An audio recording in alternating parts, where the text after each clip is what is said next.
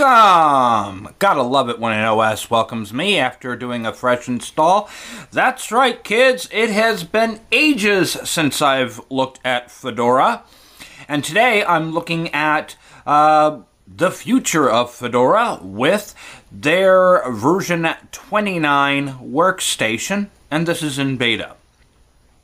As I did in yesterday's Ubuntu video, basically uh, I did a fresh install and then turned on the recorder as soon as I booted into the operating system for the first time so that you can experience this wonderful OS the same time that I do. So it looks like uh, we got a nice little welcome screen. We'll click next and then it gives us some information on privacy.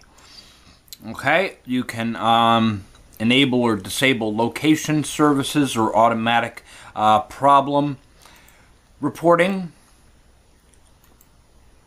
All right, and then it wants to surrender your privacy by connecting your Google, your Microsoft, and your Facebook accounts. Luckily, I don't have it. Well, I have a Google account, but um, yeah, I really don't use it that much, so we'll just go ahead and skip that. And the installer did not ask me for my name, nor set up an account. So it's going through the process of doing that now, and it looks like they have an option for setting up enterprise. We're doing this from a desktop standpoint, so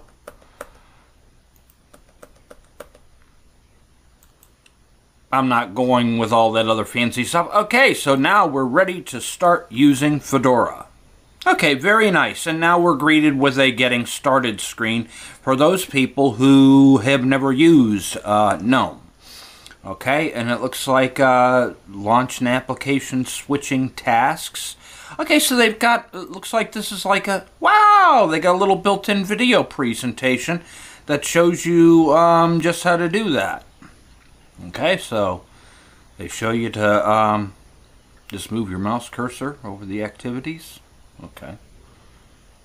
Alright, well, nifty. Alright, good deal, good deal.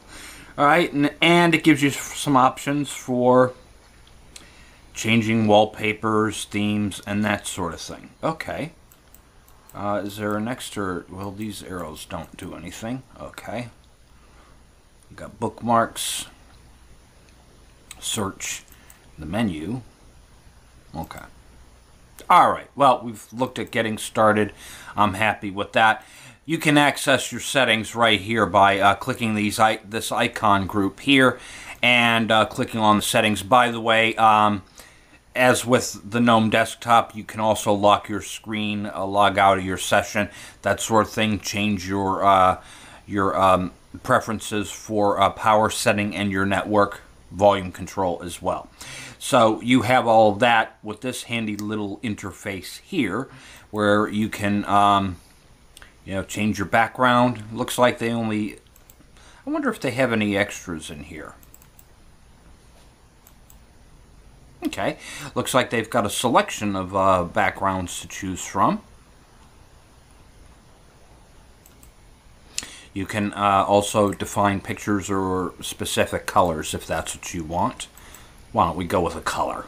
Why not? Just K-I-S-S, keep it simple. Notification settings, you can adjust, and uh, doesn't doesn't look like this one has as many as uh, the Ubuntu did yesterday that we were looking at. Um, search options, your uh, language preferences, universal access. Um, maybe if you need that high contrast theme, that is available to you as well. Change your uh, fonts and that sort of thing. And uh, other goodies are thrown in here, such as uh, changing your dated time, add new users, or defining your default applications. All done from the One Settings panel right here. Pretty neat stuff. Okay, and uh, when we click activities, then we have um, uh, a number of things that we can do here, all right? you uh, have a quick launch to Firefox, uh, Evolution for mail, uh, Rhythmbox for managing your music, uh, Nautilus for files, and then they have their own software center. Let's take a quick look at this. I'm interested to see if this has a similar look and feel to the Ubuntu one, and it does. it looks very similar. Similar. I'm not sure what they called this installer, but uh, I know the Ubuntu one is called Snaps Software Center, and I this could very well be the same thing. Um, we have an option to enable third-party repositories. Why not? Um, all right, and it looks like uh, this gives you a list of everything that's installed here. So if there's something that this came with that you don't want, you can remove them and swap it out for something you want. So this is a nice convenient user interface. It also gives you a list of all the updates that need uh, to go on the system. It's running through the process of checking and then it will list them here. Um, as stated, I just did a fresh install and I didn't bother to um, uh, run any updates or anything on this. Why don't we look at some other things here?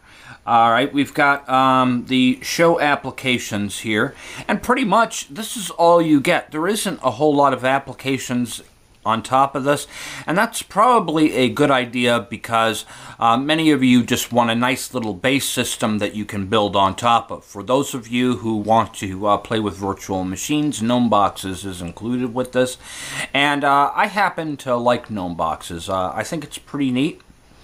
Uh, and if I'm not mistaken, I think it is a front end for QEMU.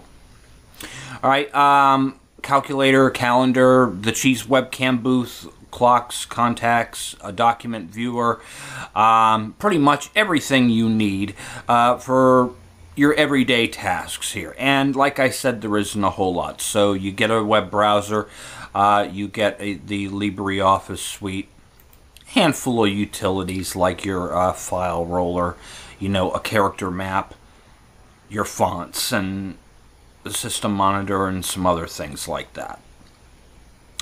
Um, I'm interested in knowing if this did the same thing that Ubuntu did yesterday, where um, I'll type in uh, the name of a package and it'll offer me some selections to install. So let's say I want to. Um, play Tux Racer. Okay, and it did give me some suggestions. So um, it gave me the option to install, uh, you know, uh, Super Tux Kart, that sort of thing. Excellent.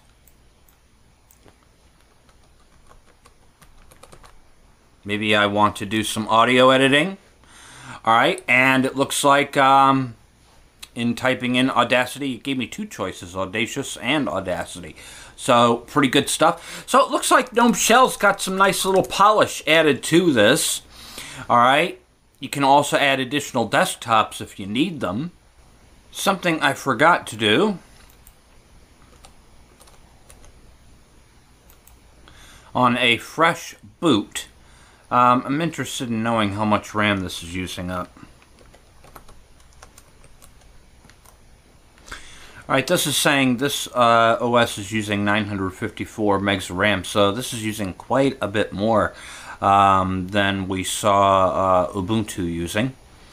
Um, so there may be some additional resources that are running that um, I can't see at present. Um, but, I mean, you can go into your startup settings and you can actually remove some stuff uh, so that this is using uh, less uh, resources if you want to. So, at any rate, that's the latest Fedora 29 workstation beta. And uh, I think it's a nice looking desktop. I know the GNOME developers have been working very hard to streamline uh, their desktop, and it is looking good. Just not something I would use on a day to day basis. But if you think this is something that you would like to use, um, click the link in the description, download this, and give it a try.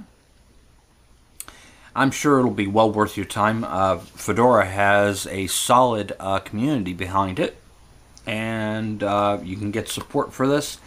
And, uh, you know, this can be used as an enterprise level distribution. So for small business owners, uh, this might fit you like a glove. That's all I have on this for now. I'm not sure what I'm going to be covering next on Cup of Linux, but I'm sure I'll have something equally exciting. So until next time, peace out.